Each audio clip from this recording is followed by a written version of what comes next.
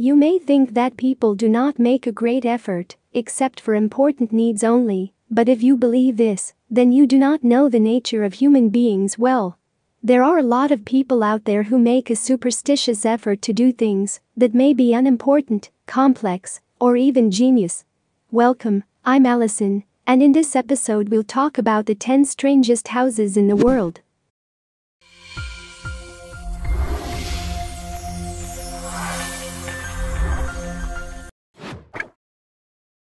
The Coral Castle located in Florida in America is considered one of the building puzzles, and the one who built this castle is Edward Calnan, and its construction began in the 40s of the last century, and the construction period lasted 28 years until Edward was able to finish the whole castle alone, and the castle is in a 12 square meter courtyard, a garden carved from the rocks, and a 9-ton gate, and the mystery in this castle is that how did Edward manage to do all this alone? And this mystery puzzled all visitors who saw the castle over the years, and throughout the 28 year period, Edward worked at night, only so that no one would discover his secret. The House of the Flintstones, located in Florida in America, is aptly named, and the design is completely inspired by the cardboard of the Flintstones, and the house from the outside and from the inside is exactly like the one in the cardboard, and everything inside is made of rocks. But of course from the touch of modernity and comfort, that everyone needs a house today, meaning that although everything is made of rocks, all the equipment required for living is available in this house, and although the house consists of only one bedroom and two bathrooms, it has a private beach, and this house was sold for $1.8 million.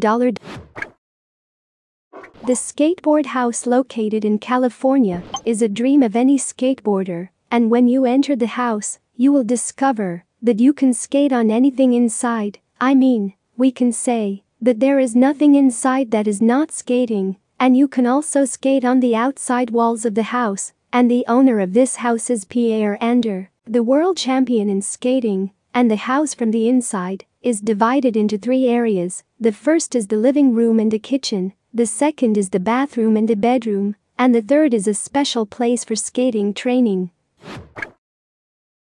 The house in Germany deservedly holds the title of the smallest house in the world. The person who designed this house lived all his life as a refugee in Germany, and because he spent his life in a small enclosed place, he decided to design this house, and the area of the whole house is 91 square centimeters.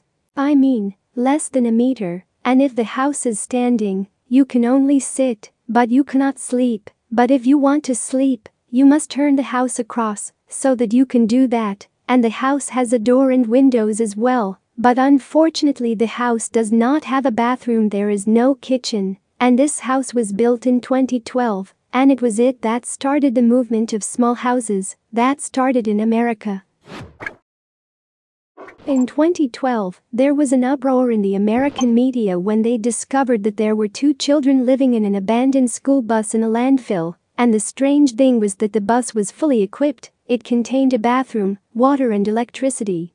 And the parents of these children were imprisoned for cases of embezzlement of money from victims' hurricanes, and their aunt who was supposed to take care of them was working 12 hours a day and very busy, and when the government learned about this, she took the children to the state nursery until their parents came out of prison and got them back. And you, dear viewer, in your opinion, what is the strangest house I met today in this episode? And do you prefer to live in a unique way like these people? Or do you prefer to live as a natural person like all people? And do not forget to support us with the like button, subscribe and share the video with your friends.